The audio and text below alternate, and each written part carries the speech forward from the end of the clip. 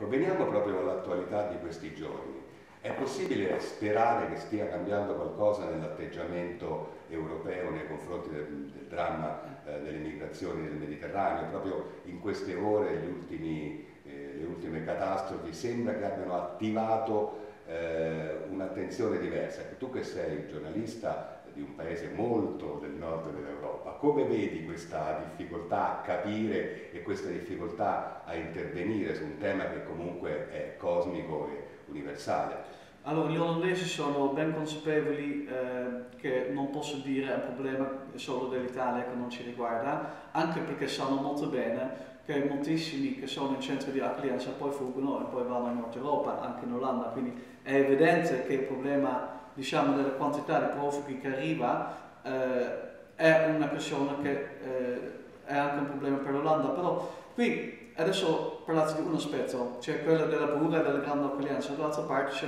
naturalmente la questione umanitaria, ci sono sempre questi due aspetti e lo sentiamo penso in tutta l'Europa, da una parte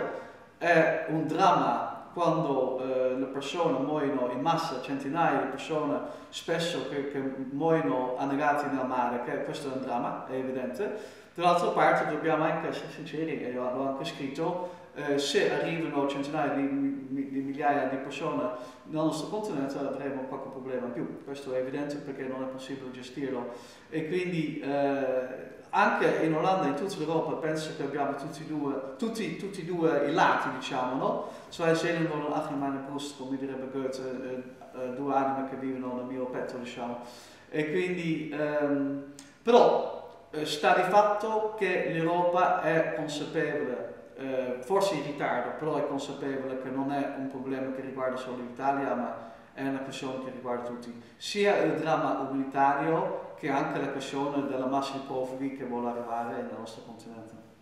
In Italia si è parlato molto negli ultimi mesi, l'ha fatto soprattutto il governo Renzi, di un'attivazione critica e autocritica sulle politiche economiche dell'Unione Europea, cioè qualche cosa eh, si è detto forse cambierà anche per il contributo dell'Italia. Questa è una percezione tutta nostra o da, da vicino e da lontano si può confermare questo giudizio sul ruolo dell'Italia, del semestre italiano e in particolare della figura di Renzi in questo ambito qua?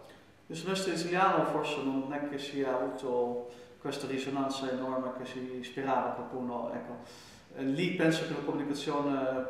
poteva andare meglio, ecco. eh, qualcuno ci ha dato fare, qui abbiamo avuto Gosi, il sottosegretario, una persona molto eh, comunicativa, insomma lui è una, una brava persona, però io penso che il governo da questo punto di vista avrebbe potuto comunicare un po' di più. Eh, a, a, proposito dell'Unione Europea, eh, Europea, in generale, perché si può andare nello specifico, si può parlare della questione della Grecia, si può parlare della questione dell'Italia, su che misure dà, in che misure riceve, possiamo andare in tanti dettagli, ma quello che è la cosa forse più importante è che nel percorso del tempo c'è stata un, un, un, un ehm, eh, c'è, stato un crescente presa di distanza eh, meno entusiasmo nei confronti di Bruxelles. Cioè sia l'Olanda che l'Italia erano inizialmente grandi fattori eh, a favore del, dell'Unione Europea, erano anche fondatori eh, e quindi erano molto filo europei sempre, eh, ma sia in Nord Europa che in Sud Europa si vede che diciamo, eh, questa, questa, questo atteggiamento così filo europeo eh, purtroppo ha subito dei colpi perché non ha corrisposto alle aspettative né per i nord europei né per i sud europei, eh, anche perché c'è la crisi economica che in Italia è molto peggio rispetto all'Olanda peraltro. E, ehm, e quindi, eh, però alla fine comunque sono per, non sono i partiti veramente euroscettici